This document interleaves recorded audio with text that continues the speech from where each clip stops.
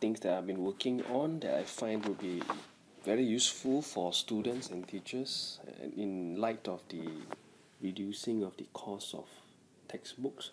So this is a and it is already inserted into oh okay.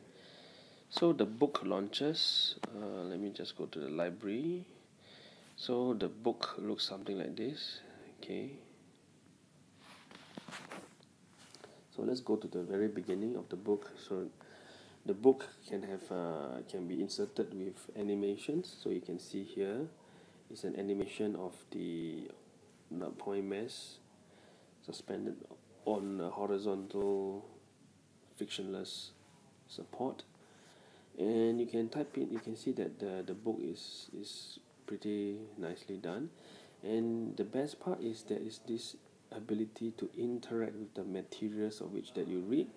And here you can see that when I click the play it will run the simulation as designed in the easy java simulation.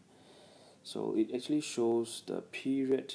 So you can read from here the period of the real and the theoretical so as to allow the students to calculate the errors. Okay and it will automatically stop at one period. Okay let's uh, progress on to the other parts of the the ebook. So here I have a simple harmonic motion simulation and I think one of the nicer things you can do with this is you can actually select like what it says here select from the drop down menu and click play. So it, it can allow us to select the different scenarios and key in and, run the simulation to observe what is the difference uh, in the physics that is being taught right in the ebook which is uh, actually an EPUB 3 format. Okay and I can key in first so it will be 2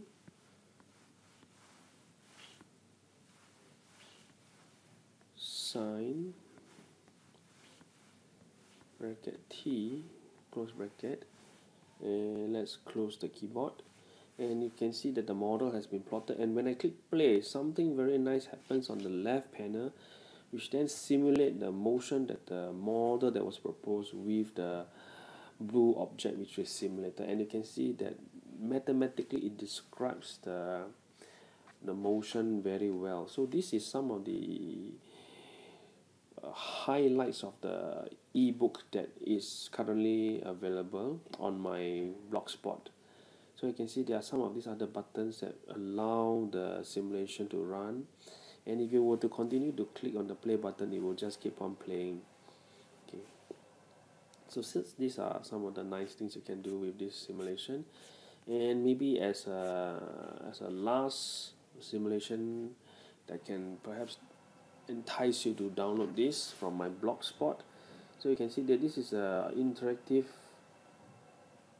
book that allows you to interact with the material. So this is actually two vectors arranged in a circle to allow you to visualize the phase difference between the blue and the magenta arrows as uh, built on to further understand and allow you to and allow the student to explore the concept of simple harmonic motion having displacement which is actually out of phase from the velocity by a magnitude of pi over 2 so you can actually change the orientation of the rotation and then you can again visualize what it means by that.